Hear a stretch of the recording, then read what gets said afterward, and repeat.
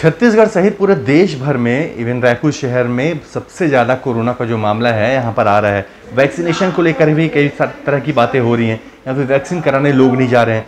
अठारह साल से ज़्यादा वर्ग के लोगों की जब से शुरू हुई तो लोगों में कई तरह की भ्रांतियाँ हैं। खासतौर पर पुरुषों में नपुंसकता की बातें फैली हुई हैं। महिलाओं में गर्भ न धारण कर पाने की बातें जो हैं, जो युवा लड़कियाँ हैं, जो अभी नई नई जिनकी शादी हुई, इन तरह की बातें चल रही हैं। इन सब के बीच जो है तो वैक्सीनेशन के मामले पर 30 प्रतिशत से ज़्यादा वैक्सीन खराब होने का भी मामला सामने है जिस पर मुख्यमंत्री से लेकर के जो सत्ता में पार्टी है, वो कई तरह की बयानबाजी कर रही है। अभी रायपुर जिला के अध्यक्ष भारतीय जनता पार्टी से हमारे साथ मौजूद हैं श्रीचंद सुंदरानी जी। अभी जो वर्तमान सिनारियो इस पर आप क्या कहना चाहेंगे? देखिए, कहीं ना कहीं शुरुआती दिनों में कांग्रेस पार्टी की सरकार, राज्य की सरकार वैक्सीन को लेकर गंभीर नहीं थी, बल्कि उल्टा भ्रम फैला रही थी। बहुत सारे जनता में भय और डर का माहौल पैदा कर दिया था, जिसके कारण ढाई से तीन लाख वैक्सीन ये लोग लगाने में कामयाब नहीं हुए थे, वो ख़राब हो गई। तो ऐसे ही इन्होंने देखा जाए तो 25 से 30 प्रतिशत वैक्सीन ख़राब कर डाली, जो जनता को जिसका लाभ मिलना था। डेढ़ दो महीना बाद में लगाना शुरू किया, जब पूरे देश में वैक्सीन के पक्ष में माहौल खड़ा हो गया, तब जाके छत्तीसगढ़ में शुरू हुआ।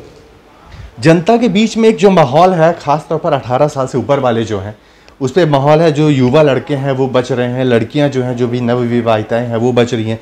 कुछ तरह की अफवाहें हैं, उस पर क्या बोलेंगे देखिए, युवाओं में वैसे देखा जाए तो पूरा उत्साह है, लेकिन यहाँ पे लगाने की व्यवस्था नहीं हो पा रही है वैक्सीन उपलब्ध नहीं हो पा रही है। कुछ लोगों में ज़रूर भ्रम फैलाने का काम किया जा रहा है, डराने का काम किया जा रहा है, अफवाहें फैलाने का काम कुछ लोग कर रहे हैं। लेकिन आज का युवा पढ़ा लिखा है देर सवेर भ्रम उनका दूर होगा। कौन ऐसे लोग हैं जो भ्रम फैलाने की कोशिश कर रहे हैं? क्योंकि बहुत सारे संगठन हैं जो जागरूक करने के नाम पर लोगों के बीच में जा रहे हैं। कौन हो सकता है जो और फिर इस पर क्या कार्रवाई होनी चाहिए और सरकार इस पर क्या कर रही है? नहीं कुछ अज्ञानतावश इस प्रकार का भ्रम फैलाते हैं इसके पीछे कोई बड़ी साजिश है ऐसा लगता नहीं।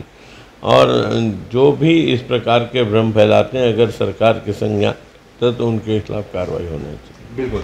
तो वैक्सीन को लेकर के जिस तरह से मान लो शुरुआती दौर में ही भारतीय जनता पार्टी ने यहाँ पर इन चीज़ों को उठाया था और जो स्वास्थ्य मंत्री हैं उन्होंने ही बयान दिया था कि हम वैक्सीन का जब तक तीसरा टेस्ट नहीं पास हो जाता तब तक नहीं कर पाएँगे और ऐसे में तब से लेकर के अब तक में वैक्सीनेशन की प्रॉपर व्यवस्था न होने की वजह से 30 प्रतिशत से ज़्यादा वैक्सीन पूरे छत्तीसगढ़ में जो है तो बर्बाद हुई। इस पर जो है तो कई तरह की बयानबाजियाँ हो रही हैं और जो भ्रम की स्थिति है, उस भ्रम की स्थिति में भी देर से देर तक कुछ चीज़ें सामने आ सकती हैं।